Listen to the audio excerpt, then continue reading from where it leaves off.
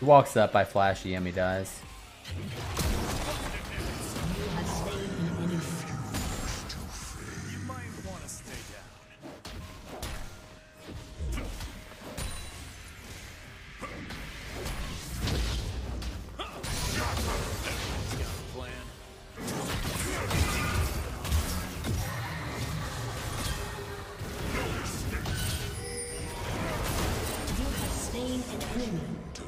Why wouldn't you just flash my W? Get some ice on that. He has a chance of killing me there if he flashes my W.